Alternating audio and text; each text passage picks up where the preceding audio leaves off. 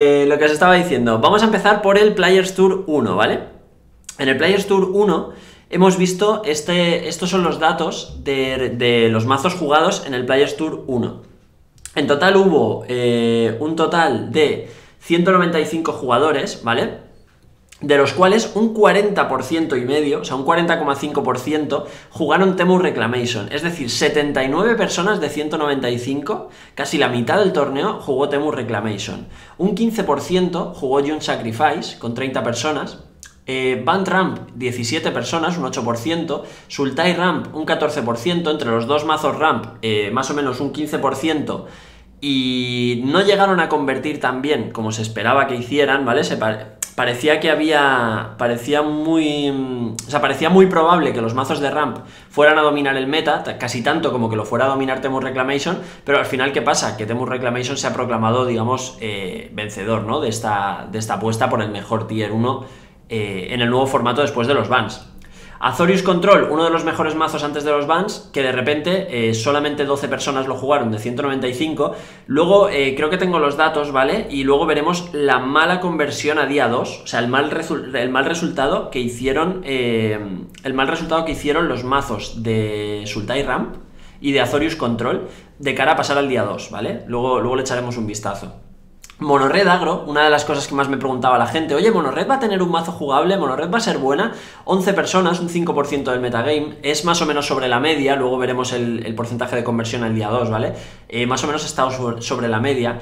Esper Control con 4 representantes, Grul Agro con 4 representantes, igual que Mardu Knights, y después con 3 representantes, Mono Green Monsters, Rakdos Sacrifice, Temur Aventuras, dos personas que jugaron Boros Ciclos, Dimir Control y Simic Mutate, y cinco personas que están en la categoría otros, en plan mazos que, pues, que, no, se que no se cuentan, digamos, ¿no? Entre estos mazos pues se podría hablar a lo mejor de una 4 color ramp, si no me equivoco es una de las que vamos a ver más adelante, mazos que digamos que están un poquito fuera de, de metagame o que no se ven tanto en el metagame, ¿no? Entonces, eh, ¿cuál es el siguiente dato que, tenemos que ver? El siguiente dato que tenemos que ver es el metagame que hubo en el día 2, ¿vale? El metagame que hubo en el día 2, Winrota ni está ni se la espera, pues probablemente si hubo alguna estaría en el Other Decks, sería una persona jugando solamente el deck. Entonces, eh, en el día 2, de los 79 jugadores de Temu Reclamation, un 45% del metagame del día 2 eran, eh, o sea, había más porcentaje de Temu Reclamation en el día 2 que en el día 1. De un 40 y medio a un 45. Más de la mitad de la gente que jugaba Temu Reclamation hizo día 2. Para que, para que os hagáis una idea, un 56 casi por ciento de gente que jugaba Temu Reclamation hizo día 2. Fijaros, por ejemplo, eh, June Sacrifice, 30 jugadores pasaron 17, también más de un 50%. Eh, Band Ramp, de 17 jugadores, 12 eh, hicieron día 2, o sea, un 70 y, 70 y medio por ciento de conversión al día 2, las Band Ramp, o sea, espectacular el resultado de las Band Ramp en el día 1, la verdad. Y luego de repente Sultai Ramp eh, de 14 7, la mitad exactamente de gente. Pero fijaros en esto, eh, Monogreen Monster, ¿vale? Un, un mazo que cualquiera hubiera pensado que nadie lo iba a jugar en un Players Tour. 100% de conversión al día 2. O sea, había tres tíos, tres titanes, hay tres campeones jugando Monogreen Monster y hicieron día 2 los tres. Espectacular. Conversiones que cambiaron de mazo. No, conversión me refiero a que llegaron al día 2. ¿Vale? O sea, imagínate, del 100% de personas jugando ese mazo, un 55,7% hicieron día 2, ¿vale? O sea, la conversión se refiere a cuánta gente de la que lo jugaba el día 1 pasó al día 2. Eh, Monogreen Monster 100% de, de conversión. Eh, Esper Control un 66, Grulagro con un 50, Azorius Control un 8,3%, o sea, de 12 personas jugando Azorius Control, solo uno llegó al día 2, solo uno de 12, espectacular, ¿eh? Uno que, un mazo que hace dos semanas era de los mejores mazos del formato, de hace dos semanas cuando se hicieron los baneos, o sea, espectacular este, este cambio, ¿eh? Mardu Knights, que solo pasó una persona de 4, pero bueno, es un 25%. Temur Aventuras, que lo jugaban tres personas y uno de ellos pasó al día 2. Boros Ciclos, eh, solo lo jugaron dos personas y uno de ellos pasó. Y, ojo a esto, uno de los cinco Other, el 4 Color Ramp, que luego veremos el mazo, ¿vale? Eh, ¿Vas a jugar Esper Control hoy? Pues no lo sé, no creo, ¿eh? No creo, Cefians. Tengo pensados varios mazos divertidos para jugar luego, ahora, ahora luego os enseño. Pero os adelanto que uno es un tribal de toque mortales otra vez, pero mejorado. Eh, ramp de cuatro colores, que es una mezcla entre Sultai Ramp y Band Ramp, pero con Jorion. O sea, imaginaros, es como si los Power Rangers de repente hacen el Megazord. Coge el tío y dice, vale, tengo la Band Ramp, tengo la Sultai Ramp y tengo Jorion. ¿Y si los cruzo todos en un mismo mazo? Y básicamente eso es lo que hizo, ¿vale? Y tiene un mazo de 80 cartas con cuatro colores. O sea, me parece espectacular, la verdad. Y el tío con sus dos cojones al día 2, ¿vale? Entonces, eh, después de ver el metagame de gente que llegó al día 2, vamos a ver ahora el eh, top 8, ¿vale? Del, día, del, Players Tour 1, eh, ¿vale? El Megazord sería de 5 colores. Bueno, perdonadme, perdonadme. ¿Queréis dejar de intentar banearos con la exclamación suerte, por favor? Total, en el top 8 del Players Tour 1 tenemos 1, 2, 3, 4, 5 y 6, 6 Temu Reclamation. O sea, de los 44 o 45 que hemos visto que pasaron al día 2, 6 hicieron top 8. ¡Qué barbaridad! De los 6 que hicieron top 8, 3 en semifinales y 2 en la final. O sea, qué barbaridad la dominancia de este mazo en el meta. ¿Cuáles son los dos mazos que se colaron en el, en el top 8? Luis Samuel del Tour, ¿vale? Que es un jugador bastante pro, eh, con Band Ramp, que llegó a semifinales, donde perdió contra Temu Reclamation, y eh, Shinosuke, iba a decir Shinosuke, Shinsuke Hayashi con Band Ram también, que perdió 2-0 contra Temu Reclamation. Estos tienen que ser, eh, estas dos Band Reclamation tienen que ser que se estuvieron esquivando a las, a las Temu Reclamation durante casi todo el torneo. Y llegaron aquí y la primera, bueno, no, este se cargó una, ¿eh? Este se llegó a cargar una os iba a decir, digo, la, primera que te cruzas, eh, seguramente eh, del Tour iba más preparado contra Temu Reclamation, porque veis, gana 2-1, palma 2-1, o sea, como que equilibraría un poquito más el, emparejamiento seguramente. La representación española, ¿cómo quedó? Pues sé que estuvo Chobi, eh, Chobi estuvo a una partida de hacer top 8, pero no estoy seguro de, en cuál de los dos fue, no estoy seguro, creo que en el 1. Eh, War, que luego te daré los sobres, ostras, que estoy haciendo esto, o sea, ahora cuando termine te daré los sobres. En fin, eh, y la final que fue Mirror de Temu Reclamation, ¿vale? Donde ganó Elias Watchfeld. Ahora veremos su, tanto su lista como la de la Band Ramp, que son las. ¿Cuál es el nuevo Joseja? Que son las que, las que llegaron un poco más lejos siendo diferentes, ¿vale? Porque no os voy a enseñar 6 Temu Reclamations para ver el, top 8, ¿vale? Os voy a enseñar una, que fue la que ganó, y una Band Ramp. Luego, eh, pasamos al, al Players Tour 2, ¿vale? Al Players Tour 2, eh, que lo tengo aquí. No, me he equivocado, aquí. Perdón. 71 personas, 71 personas de un total de... A ver, dejadme un segundo que lo mire. De un total de 119 jugadores. No, de un total de 242 jugadores, perdón. De un total de 242 jugadores, 71, es decir, el 30% casi, jugaba Temu Reclamation. Y después, fijaros el desplome, ¿eh? Fijaros el desplome de un 30% de Temu Reclamation a un 12% ya la Sultai Ramp. O sea, fijaos la, diferencia del mazo más jugado al segundo mazo más jugado, ¿eh? El tercero está un poquito más equiparado con el segundo, Jun Sacrifice con 25, el otro con 29, Band Ramp con 20, eh, Monored Agro con 14, luego Azorius Control con Jorion, que la separan del Azorius Control sin Jorion, ¿vale? En total suman 13 entre las dos. Monogreen Monsters, que en este caso hubo 8 personas, no 3, eh, luego veremos que hubo menos gente que hizo día 2 con la Monogreen Monsters que en el otro. Yo soy mod. eh, Jun Sacrifice con Giganta, ¿vale? Separan, eh, separan la Jun Sacrifice con Giganta de la Jun Sacrifice normal. Luego veremos que la Jun Sacrifice con Giganta hizo bastante buen resultado. Hubo uno que llegó a, a top 8, de hecho.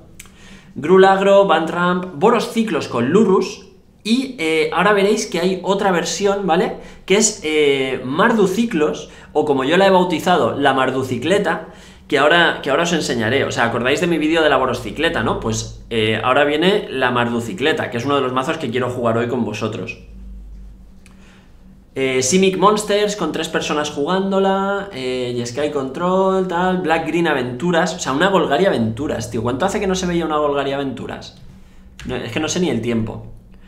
Y eh, luego por aquí tenemos el resto, ¿vale? Los que solo jugaba una persona eh, el mazo. Entre los cuales está, pues, Temu Reclamation con Keruga, está eh, Sultai Sacrifice. Sultai Sacrifice, o sea, ¿alguien había oído hablar de, de Sultai Sacrifice?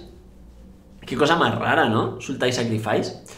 Eh, Sultai Ramp, Simic Ramp, eh, 2 Knights, 2 Agro, Mardu Sacrifice, Mardu Knights con Lurus, Mardu Cycling con Cirda, que esta es la que, os, os quiero enseñar, esta es la que yo he dicho que se llama la Mardu Cicleta, o la Mardu Cirdeta, la podríamos llamar, Mardu Cirdeta.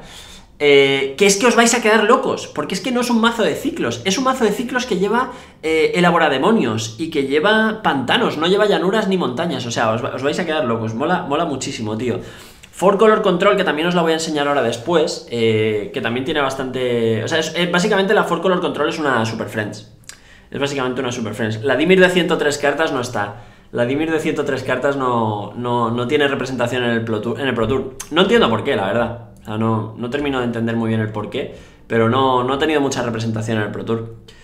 Entonces, eh, ¿qué pasó el día 2? ¿Qué pasó el día 2? Que hubo, no sé por qué, en los datos del día 2 eh, no hicieron el cálculo de, de, cuánta gente con el mazo pasó al día 2, ¿vale? Igual que antes hemos visto la conversión, se ve que los coverage los hace gente diferente, y es el que hizo el coverage de este día dijo, ah, yo paso de las conversiones, paso.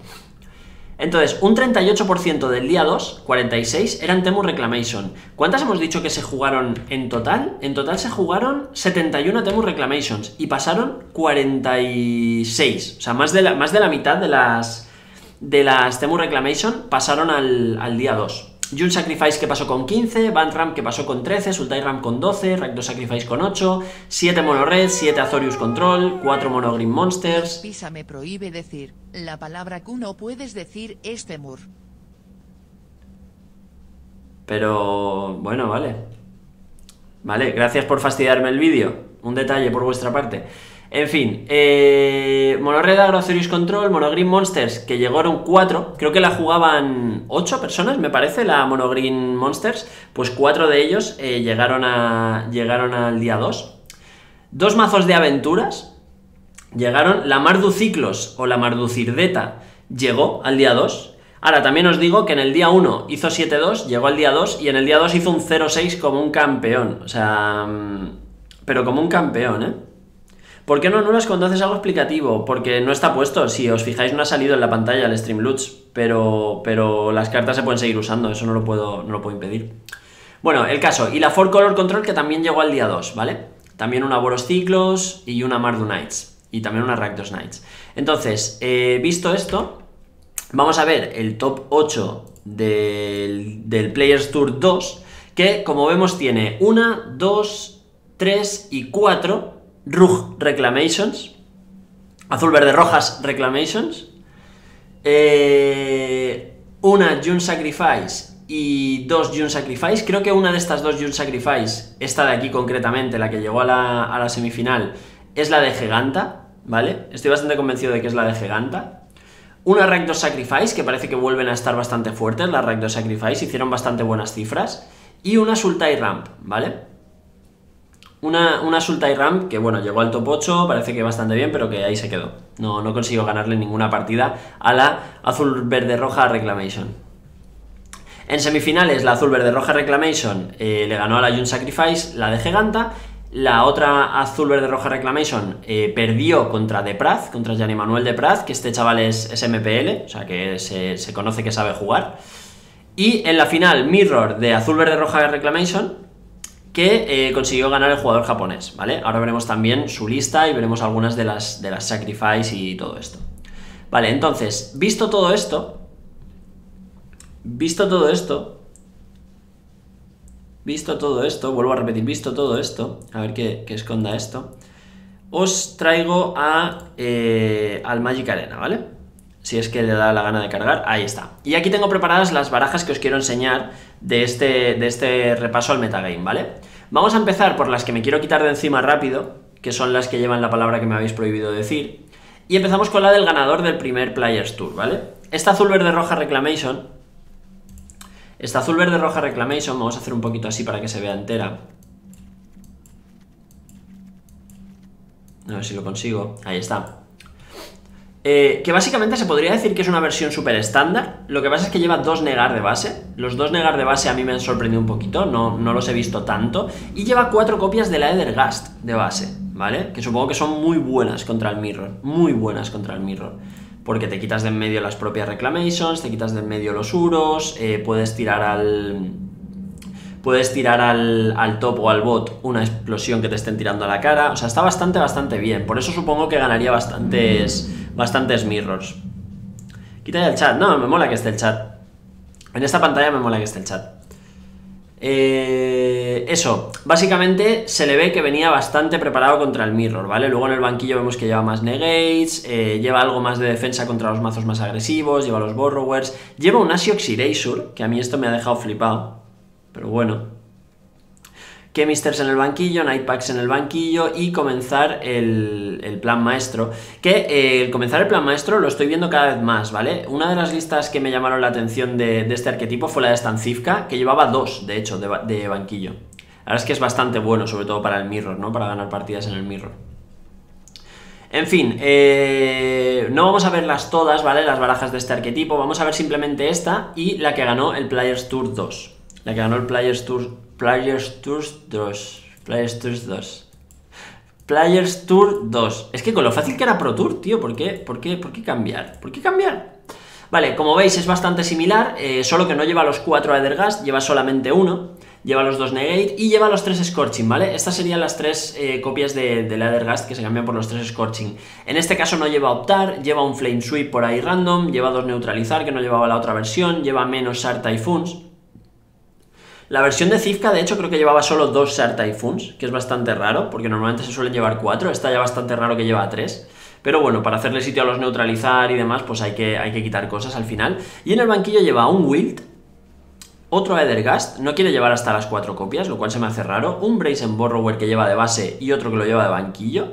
Bonecrusher Giant junto con los Night Packs. ¿Veis? Este sí que lleva dos Commands de Endgame. Y lleva el, el cuarto Shard Typhoon que se ha quitado de base, lo lleva de banquillo. Ningún vínculo vital, no se suelen llevar vínculos vitales en este tipo de barajas. Vale, eh, ¿qué más? Pues yo creo que seguimos con Band Ramp, ¿vale? Con Band Ramp. Band Ramp que, eh, ya os digo, ha hecho un resultado bastante decente, quizá no tan bueno como se podía esperar de un mazo como este, pero eh, bastante decente. Y muy poco que decir sobre este deck. Sinceramente, lo que me sorprende de esta lista es que lleve los dos Will de base, pero teniendo en cuenta cómo está infestado el meta con las azul verde, azul -verde rojas reclamations, es que es impresionante. O sea, la carta es muy buena en ese, en ese emparejamiento. Entonces, 3 Adergast, 2 Wills de base y el resto, pues bastante estándar, ¿vale? Quizá el Brazen Borrower también choca un poquito, ¿no? Verlo así de, verlo así de base. Pero bueno, una copia de Tamillo, 4 Nisas, 3 Elspeth eh, de banquillo, 4 Glass Caskets, 3 Betos, 2 Borrowers, 3 Disputas, un Dream Trawler y dos intervenciones de Elliot que también se están viendo muchísimo porque son buenas contra dos o tres de los mazos más jugados, ¿no? Entonces también bastante bueno el, banquillo. La verdad es que muy buena la lista de... Mm, ¿Quién era, ¿Quién era el que jugaba esta lista? Eh, del Tour, ¿no? Creo que era del Tour el que jugaba esta lista. Bastante decente. Vale, ¿qué más tenemos? Tenemos eh, la Jun Sacrificios con Giganta, ¿vale? Que quedó, que quedó tercera que quedó tercera en el Players Tour 2, que es la típica Jun Sacrificios, ¿vale? Con los tres Corbol, que hay mucha gente que los Corbol se los pasa al banquillo y tal, con los tres Corbol directamente de base y eh, con Giganta, porque no te cuesta nada llevarla, porque no es un mazo que suele llevar dobles costes, así que no, no pierdes nada por llevarla, y tienes la opción de tener ahí un 5-5 que te puedes bajar a la mesa cuando te compliquen un poco tu plan normal, ¿no? De banquillo, pues Descarte, Beta Planeswalkers, eh, Scorching Dragonfire, Cindervines contra las azul verde rojas Reclamations, que son bastante buenos, Clothis contra los cementerios y eh, una copia extra de Overgrown Tom, que entiendo que es para cuando mete muchas cartas negras, eh, mejorarse un poquito la base de maná, porque al principio no necesitas tanto el negro de inicio, pero luego sí que lo necesitas con todo esto. Así que supongo que, que lo hace... No, directamente es que lleva 16 cartas, o sea, esto... Ah, no, es que esto lo he pasado yo. Vale, vale, vale, vale, vale. Me, acaba de explotar la cabeza, o sea, la he pasado yo. Al mover las tierras de un sitio a otro, la he pasado yo al banquillo. Ya decía yo, digo, digo, me parece muy loco lo que estoy viendo aquí, ¿no? Creo que lo hace por esto, pero no tiene mucho sentido, claro. Como que se la he metido yo y le he dejado ahí el, el este. Yo me reía de Giganta, ya ha llegado más lejos que la mayoría de companions. Hombre, es un buen companion, ¿eh? Para empezar es un 5-5 por 5, cosa que está bien. Y además lo tienes ahí gratis para cuando estás un poco que no sabes qué hacer en la partida y tal. O cuando te rompen tu plan inicial de sacrificios y eso. Imagínate que te meten mucho hate contra el cementerio y no consigues usarlo. Pues tiras de Giganta, ¿vale? La bajas como un 5-5. Me parecía muy crack tierras en el banquillo. Pues no sería la primera vez, Diego. Hay mucha gente que lo hace. ¿eh? De hecho, hay muchas barajas, eh, Monored sobre todo lo solía hacer, que tenían tierras en el banquillo para cuando metían cartas como, como, eh, como el Frenzy, cartas de, de costes más altos. En la primera partida vas muy a saco. Define mucha gente. Mucha gente lo de llevar tierras en el banquillo. Joder, pues yo sí que lo he visto mucho. Eh, cuando tienes un mazo muy agresivo, pero de banquillo tienes cartas más caras, las llevas de banquillo y, las pones cuando, cuando necesitas cuando necesitas más tierras. Yo eso sí que lo, he, llegado a ver bastante. Bueno, ¿qué más tenemos? ¿Qué más tenemos? Eh, Sultai Ramp, ¿vale? Que es muy parecida a, a Band Ramp, solo que cambia, pues en vez de los Shatters tenemos los Extinction Event. Eh, mira, este lleva los dos Will también de base, lol. Ostras, pues no me lo esperaba, ¿eh? Que hubiese tanta gente utilizando los Will. Claro, por eso, a lo mejor por eso precisamente estaban tan arriba. Hace mucho tiempo que no se ve. Sí, eso es verdad. Eso es verdad que hace tiempo que no se ve. Eh, lo de los Will de base a mí me sorprendía, pero a lo mejor precisamente por eso están tan arriba estas dos, estas dos listas de ramp, porque los llevan de base, porque tuvieron, tuvieron bastante buena bastante buen win rate contra las barajas de Reclamation precisamente por llevarlos de base, es, es bastante probable. Una copia de Atris, eh, un poquito corto, se me hace llevar uno solo, pero la verdad es que la carta es espectacularmente buena. Cuatro Casualties of War. Bajas de la negra, ¿no? La, bautizamos aquí cuando se me fue la olla y, la lengua. Eh, nada, el banquillo lleno de removal, porque como vas tan preparado de base contra las barajas eh, mid-range y controleras, pues llevas un montón de removal de banquillo. Y cuatro, cuatro, cuatro Thought Distortion. O sea, en plan, en plan, a mí con tu deck de control o de reclamation no me ganas. Si llego a 6 manas, te clavo esto y te dejo sin mano y sin cementerio. O sea, qué locura, tío. Cuatro copias, ¿eh? Cuatro copias, se dice pronto. Se dice pronto, tío. Cuatro copias del, del Thought Distortion. Vale, y nos quedaría por ver la Rakdos Sacrifice, ¿vale? La Rakdos Sacrifice, que entiendo que será bastante stock, lleva aquí eh, dos tierras que dan verde porque juega dos copias de Fiend Artisan, ¿vale? Entonces, eh, es mana rojo, pero es mana rojo que también te puede dar verde, por tanto no te penaliza tanto este doble coste negro. Así que está bastante bien pensado en la base de mana. Eh, cartas extrañas a lo mejor dentro de esta versión, pues el Lazo Tep River me choca un poquito, solo una copia del, del Dreadhawk Butcher, pero teniendo en cuenta que te los puedes buscar con el Fiend Artisan y que, por ejemplo, en el Mirror el Lazo Tep River mete dos bichos para que cuando la Priest del oponente te haga sacrificar, tener ahí dos bichos inútiles que puedes sacrificar, o incluso para sacrificártelos tú mismo, en plan, Solo tengo la Priest y solo tengo eh, un bicho y el Fiend Artisan. No puedo sacrificar dos con la Priest. Pues sacrifico el otro que tengo con el Fiend Artisan, me busco el Lazo Tep, tengo dos bichos, sacrifico los dos bichos con la, con la Priest, ¿no? Serían buenas serían jugadas bastante interesantes que se puede hacer. El resto bastante stock, o sea, el resto bastante versión estándar, una sola copia del Call of the Dead Dweller. A mí esta carta me gusta mucho, yo creo que llevaría más copias, la verdad, me gusta demasiado. Y luego el banquillo es un poquito extraño, porque lleva el, escarabajo de los contadores. Claro, esto es lo que te aporta el poder buscar con el, con el fin de artisan en el mazo, que te puedes meter cartas, como por ejemplo el Blade Beetle, y buscártelo justo en el emparejamiento en el que te hace falta. O te puedes meter, eh, seguramente llevar algún bicho más interesante. No, pues la verdad es que no. Lleva los regisaurios, que son bastante tochos banquillo, pero eh, este solo lo hace cuando casteas la aventura, así que el único bicho que viene desde el banquillo para hacer eh, daño con el fin de Artisan es el Blight Beetle. El resto pues removal, descarte, pet artefactos que también le viene bien al mazo y una sola copia de Act of Treason. Bueno, la verdad es que es interesante la versión, a mí me, me ha llamado bastante la atención, por eso quería enseñarosla también. Y venga la gente a banearse, ¿estáis más colgados? Vale, y ahora vienen los mazos que me molan a mí, ¿vale? Los que me han llamado la atención dentro de estos dos torneos. La Monogreen Monsters, la 4 Color Ramp y la Mardocicleta. Y pensaba que me había traído también la 4 Color Control, pero se ve que no me la he traído. Pero bueno, en resumidas cuentas era una baraja de, de Planeswalkers. O sea, llevaba bastantes Planeswalkers, Teferis, Narsets, etc. Y un montón de control de mesa. Entonces, eh, vamos a empezar con el que menos hype, ¿vale? Que es la 4 color ramp. La 4 color ramp, como os he dicho, eh, cojo Band Ramp, cojo Sultai Ramp, le meto Jorion y así puedo llevar 80 cartas y las cruzo las dos en un mazo, ¿vale? O sea, lleva eh, las mejores cartas que tienen en común ambas y luego las mejores cartas de cada una. Por ejemplo, el Elspeth Conquers de la Band, el, el Extinction Event de la Sultai, el Mythos of Nethroi de la Sultai, El Oath of Kaya es algo que no podía llevar ninguna de las dos y ahora puedes llevar gracias a hacer esta combinación. Y también lleva una copia de Wild de base, curiosamente. La verdad es que empiezo a sospechar de que esta carta es muy buena. si la vemos en tantos mazos que han tenido éxito. La verdad es que este mazo, como mínimo, es curioso. O sea, como mínimo, eh, tiene que llamaros la atención seguro. En el banquillo, pues más Edergast, Headless Act, 4 Legion Send contra las barajas de Sacrifice, entiendo. Eh, otro Will, 3 Dobbins Veto, 2 Oath of Kaya extra y 2 Casualties of War, que no lleva de base, curiosamente, y que lleva en el banquillo. Hoy me han jugado una de Planeswalkers con cajita de Companion. Sería Esper seguramente en bien. A mí me la han jugado varias veces. Si era Esper es, es un mazo que se ve bastante. Vamos ahora con la Green Monsters, o la Mono Green Stompy, que se suele conocer, ¿vale? No entiendo por qué lo de, Monsters en vez de Mono Green Stompy, pero básicamente es la Mono Green que siempre estamos viendo, con dos copias de Wildboard Preserver, eh, cuatro Growth Chamber, que hacía tiempo que no se veían los Growth Chamber, eh, vuelven otra vez en estas Mono Green, cuatro Barhide Troll, en este caso, eh, los bichos más tochos, que son los Yorbos, los Gemracers y los Questing Beast, y luego lleva 2, 4, 7 copias de Vivien. Dos de las de jugar con Flash. Dos de las de poner token 3-3 y jugar bichos desde el top. Y tres de las que ponen contadores, dan a rollar y luchan. O sea, siete Viviens, ¿eh? ¿eh? Cuidado, ojo, cuidado el mazo, ¿eh? Siete Viviens, qué locurote. En el banquillo, tres Soul Guide Lanterns contra las barajas de cementerio, sobre todo contra Boros Ciclos y Sacrifice. Eh, cuatro Ram Through para destrozar bichos y destrozar caras, también ya de paso. Dos, dos Thrashing Brontodon contra la Azul Verde Roja Reclamation 3 Oakham Adversary, que sinceramente no sé contra qué se mete este bicho. O sea, no, sé contra qué es bueno este bicho, pero cada día lo veo más. O sea, las, las monogreen llevan muchísimo este bicho.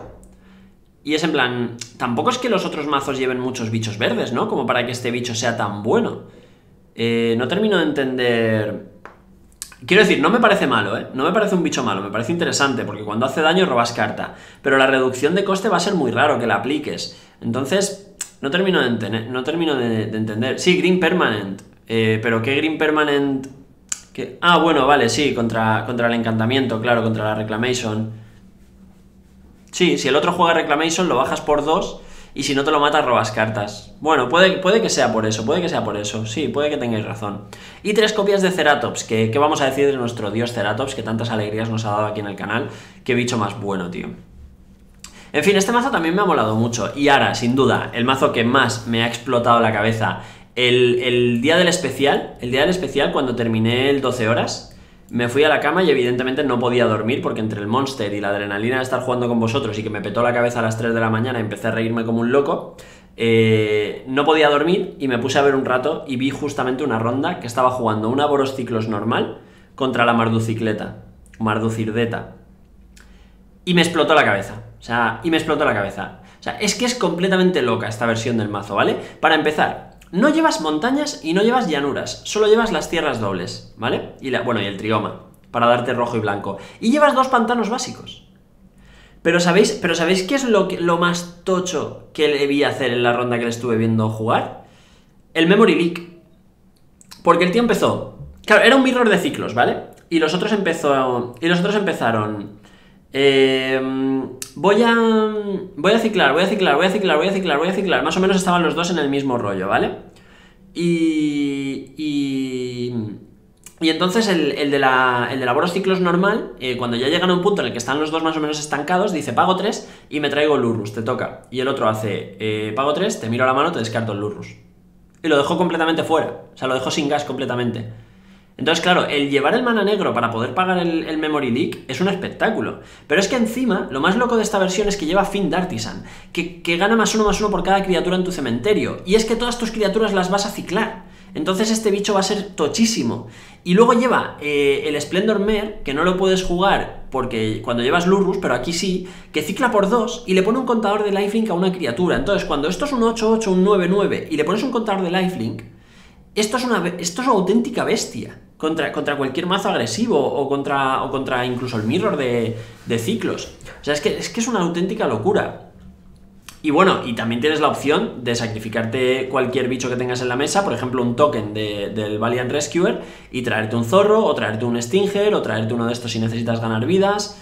Eh, bastante, bastante chulo, la verdad. Y le puedes dar prisa, claro, le puedes dar prisa con el cráter, cosa que también está muy muy bien. Aparte, más cartas que no puedes llevar normalmente, aparte de esta, eh, no puedes llevar normalmente el, el Bantasaur, que cicla por 1, pero cuesta 6. Entonces con Lurrus no lo puedes llevar. Aquí sí que lo puedes llevar. Y en una partida tonta, pues te bajas un 3-6 con. que ahí a la mesa con vigilancia, ¿sabes? Yo qué sé las tierras con ciclo, los pantalones básicos que ya os hemos comentado, Cirda, que, por contra de Lurrus lo que hace es que mientras estás en la mesa, tus habilidades de ciclo cuestan dos menos y tus habilidades de, activar en general cuestan dos menos. Entonces, claro, con esto pagas 0 y te buscas un coste 2. Pagas 1 y te buscas un coste 3, porque se reduce el coste en 2. ¿Vale? Además de eso, eh, haces que no puedan bloquearte con criaturas, cosa que viene bastante bien cuando tienes un bicho tan tocho y al que seguramente le has puesto un contador de vínculo vital, por ejemplo. En plan, eh, tu criatura no puede bloquear, así que te pego con este. O me bloqueas con el otro bicho más importante o no me puedes bloquear, o cosas similares, ¿vale? Pero bueno, sobre todo porque te reduce los costes, ¿vale? Y le puedes ver, el otro día le vi ciclar, pues ciclar esto por uno blanco, ciclar esto por un mana incoloro en vez de por tres, cosas así, ¿vale? En fin, en el banquillo lleva Dures, lleva Necrotic Wound. Esto también se lo vi jugar en la, de, en la de Mirror y también me explotó la cabeza. Porque da menos X menos X, donde X es el número de criaturas en tu cementerio. Entonces empiezas a ciclar, empiezas a ciclar. Con Cida todo cuesta 1, pero es que yo no he dicho que cueste 0. Yo no he dicho que cueste 0. O sea, con esto, si pagas 1, te buscas un coste 2. Porque pagas uno negro y, X es igual a 2, te, baja, te, pillas un coste 2. Si pagas 3, te buscas un coste 4. Eh, perdón, si pagas 1 y 1, te buscas un coste 3. Y así. Y con este te va a costar todo uno, pero este que cuesta este que cuesta uno blanco y uno te va a costar solo uno blanco. Esto que cuesta tres te va a costar solo uno. O sea, no te va a bajar a cero, pero te va a reducir todos los demás ciclos. Los de uno, evidentemente, ya, ya ciclan por uno y ya está. Pero Cirda no lo bajas como pronto hasta el turno 4 y supone perder los turnos 3 y 4. Pero es que no quieres bajarlo en el turno 4. O sea, este mazo en el turno 4 está ciclando. No quieres bajar a Cirda en el turno 4. En el turno 7 u 8, a lo mejor te lo traes a la mano y a lo mejor lo bajas. O sea, el plan del mazo no es bajar a Cirda. El plan del mazo es ganar con un Zenith Flare o con un Fiend Artisan. Pero además, gratis, llevo en el mazo a Cirda. Y puedo liártela, ¿sabes? ¿Cuántas tierras tiene? Eh, tiene 20, tierras. 20 tierras. Pero claro, con todo lo que ciclas, es que no necesitas tampoco mucho más. Pues el Necrotic Wound da menos X menos X por cada criatura en tu cementerio. Claro, todas estas criaturas que ciclas además de hinchar al fin de Artisan, eh, hacen menos X menos X con esto. Entonces le vi, por ejemplo, en el mirror de ciclos, eh, matar un zorro que era 7-7 u 8-8 con un mana. Y lo humillas. Y, cualquier bicho tocho de cualquier mazo del meta, es que lo humillas. Porque ¿qué, va a resistir un menos 10 menos 10 o un menos 8 menos 8? Nada. O sea, es, prácticamente imposible que lo resistan. Luego lleva de Spark, eh, lleva Kaya, que esto sí que me dejó loco. Cuando le vi jugar Kaya contra laboros ciclos y en plan, te exilio, te exilio el zorro, te exilio dos cartas del banquillo, del cementerio, te exilio dos cartas del cementerio, te exilio dos, cartas del cementerio. O sea, es que imaginaros, ¿eh? Qué locura, tío. O sea, esta carta me, explotó. Es que me explotó la cabeza con este mazo en general. Y cuatro copias del Clarín, que te puede servir para darle el vínculo vital a tus bichos o para barrer la mesa contra mazos de Sacrifice, que son de bichos más pequeños que los tuyos y cosas así. Ya os digo, a mí este bicho, eh, este mazo, me ha gustado muchísimo. Y ya os he visto por ahí decir en el chat que lo ha jugado casi, que se ha estampado y no sé qué. Pero es que esto lo jugaba Ken Yukuhiro. O sea, no, no lo jugaba Cash. O sea, quiero decir, eh, igual que si lo juego yo, también me va a ir peor. Y también os digo, el Yukuhiro este hizo, o Yukihiro, hizo 7-2 en el día 1 y hizo 0-6 en el día 2. ¿Sabes? Clip, clip, pero ¿por qué clip, clip? Si es que es verdad, pero que, pero como que pullita, coño, si es que es verdad. O sea, el, propio, el propio. El propio Ken hizo 7-2 eh, en el día 1 y 0-6 en el día 2. O sea, es que tendrá pairings malos también. El mazo, es que es normal. Es que es normal. O sea, al final se te pincha la rueda, ¿no? es más lenta que el ciclo es normal. No sé cuántas veces llegará ese tiempo de bajar Cirda, mientras tanto ciclar costes 2 te retrasa. Pero vamos a ver, Nemesis, que no quieres bajar Cirda que no quieres bajar Cirda y que ciclar costes 2, o sea, este coste 2 lo vas a ciclar igual que la Lurrus. No, no, cuesta menos en la de Lurrus tampoco, cuesta 2 igual. Este te cuesta 2 y te da vínculo vital y solo lo vas a querer ciclar cuando tengas esto en la mesa. Y esto cicla por 1. O sea, es que lo único que vas a ciclar por más de 1 es, es, el trigoma. Es que no, no entiendo por qué es más lenta. O sea, es más lenta en el sentido de que, de que te puede bajar un bicho más tocho a la mesa que no cicla, pero ya está. Pero ya está. O sea, tampoco, también te digo que contra boros ciclos no tienes que ser más rápido, tienes que ser mejor. Y si, y si contra boros ciclos tú llevas dures y llevas eh, callas y le humillas sus Zenith Flares, pues con qué te ganas, ¿sabes? Aunque sea más rápido que tú. Ya os digo, el mazo eh, mola muchísimo. Así que nada, hasta aquí el resumen este del meta. Espero que os haya molado. Y nos vamos a volver a lo que estamos haciendo normalmente.